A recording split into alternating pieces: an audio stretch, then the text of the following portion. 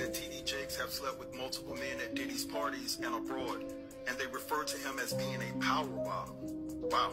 It's also been said that a young male has acquired a lawyer to represent him as he is set to sue Jakes for an incident that took place when he was just years old. It's been said that the young man was forced to perform sloppy toppy, and I'm paraphrasing here, guys. You can actually put two and two together to understand what I'm trying to say.